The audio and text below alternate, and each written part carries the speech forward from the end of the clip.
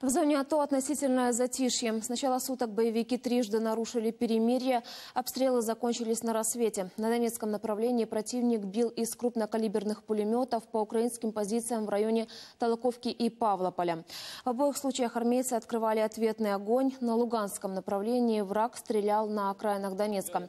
В ход пошли гранатометы. Потерь среди украинских бойцов нет.